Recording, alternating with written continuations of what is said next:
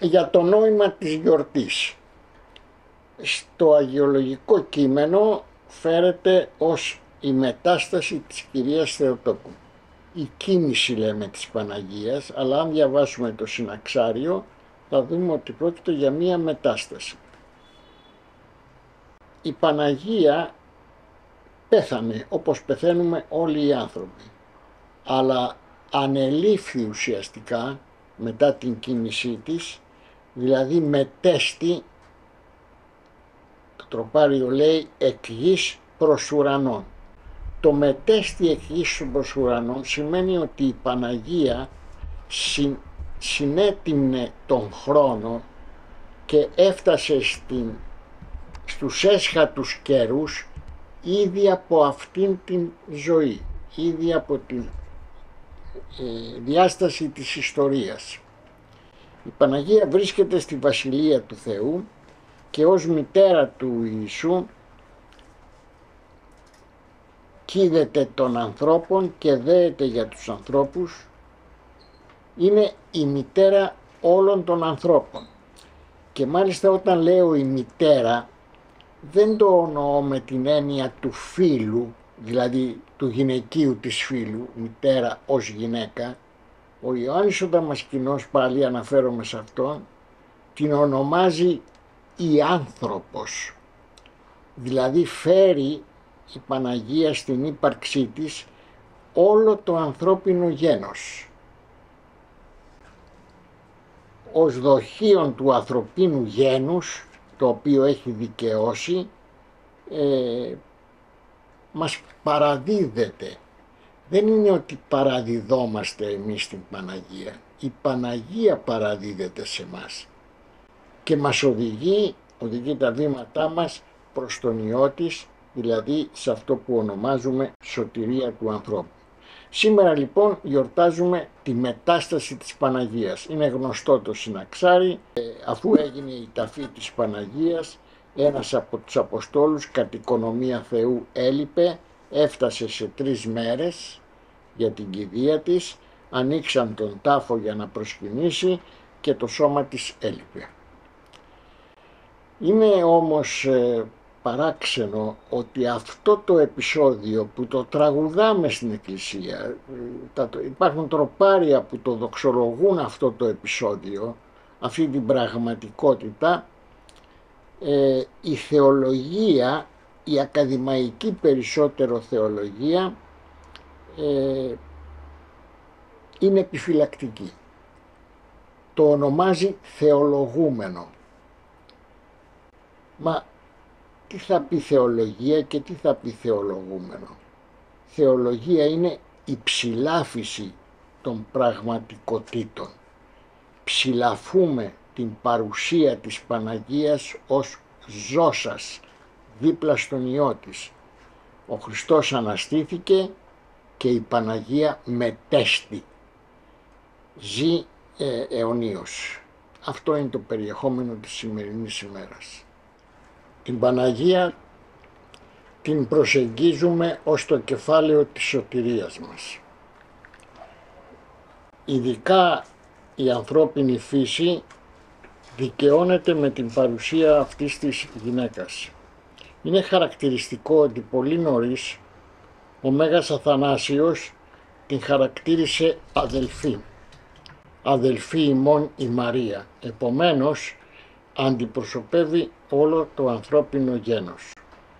Τι είναι αυτό που προσφέρει η Παναγία στον άνθρωπο; Τον εαυτό της. Δηλαδή τη φύση της. Δηλαδή τον καθένα μας. Τα προσφέρει όλα στο Θεό. Και ο Θεός δια της Παναγίας ενανθρωπίζεται. Γίνεται ένας από εμάς. Είναι χαρακτηριστικό επίσης ότι σύμφωνα με τον Άγιο Ιωάννη το Δαμασκηνό η Παναγία υπάρχει και προ της κατασκευής του κόσμου.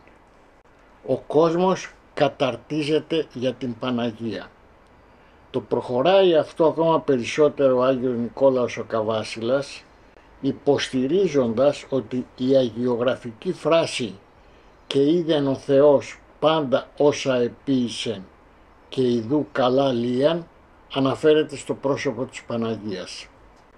Γι' αυτό ο Δαμασκηνός θα διατυπώσει σε ένα εγκόμιο προς την Παναγία τη θέση ότι ο Θεός προγνωρίζοντας την ύπαρξή της την αγάπησε και αφού την αγάπησε την προόρισε και αφού την προόρισε την έφερε στην ύπαρξη.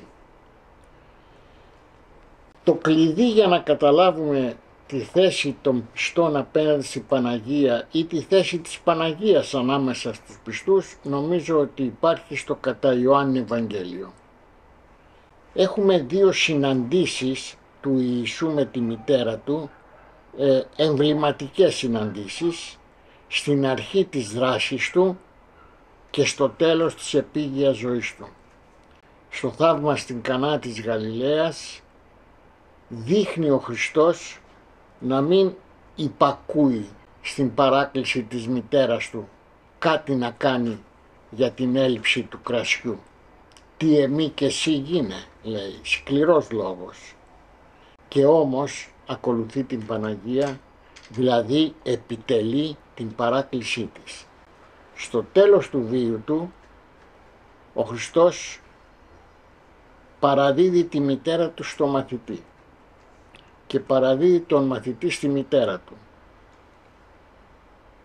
Αμέσως μετά ακολουθεί μία φράση πολύ συγκλονιστική και, παρέ, και απ' εκείνης της ώρας παρέλαβε ο μαθητής αυτήν εις τα ίδια.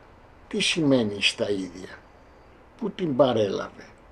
Ο Ιωάννης είχε μητέρα, τη Σαλόμη. Σε ένα άλλο επίπεδο λοιπόν γίνεται μητέρα του Παναγία και τα ίδια είναι η ίδια η ύπαρξή του. Θέλω να πω ότι εάν δεν παραλάβουμε στα ίδια αυτή τη γυναίκα, τη μητέρα του Ιησού Χριστού, δεν έχουμε πλέον σχέση με τον Χριστό. Όπως το λέει ο ίδιος, ο, το, λέει ο Ιωάννης ο Θεολόγος, όποιος δεν την αντιλαμβάνεται ως Θεοτόκο την Παναγία είναι μακριά από τη θεότητα και μακριά από τη σωτηρία. Αυτή είναι η Παναγία. Η Παναγία είναι η δικαίωση του ανθρώπινου γένους. Το ανθρώπινο γένος μας λέει η Ιερά Ιστορία ότι κάποτε έσφαλε, έκανε μία ανταρσία. Και λοιπόν έγινε η ανταρσία. Όμως μέσα από αυτήν την ανταρσία ήρθε ένας καρπός, ήρθε μία υπακοή και αυτή την υπακοή την πραγματοποίησε αυτή η κόρη της Ναζαρέτ όταν παρέδωσε τον εαυτό της τον παρέδωσε χωρίς καμία αντίσταση όπως παραδίδει ένας νεκρός τον εαυτό του για να τον πλύνουν παρέδωσε τον εαυτό της στο θέλημα του Θεού. Αυτό το «Ιδού, Ιδούλη Κυρίου γέννη τόμη κατά το ρήμα σου» όπως το διαβάζουμε στο Ευαγγέλιο είναι η υπέρβαση ακόμα και της ελευθερίας που φέρει ο άνθρωπος. Είναι μια υπερελευθερία. Παραδίδεται στην παρουσία του Θεού και παραδίδεται ως νύμφη. Δηλαδή δέχεται να σαρκώσει μέσα της τον Υιό του Θεού και έτσι να δημιουργήσει τον δρόμο της σωτηρίας για όλους μας.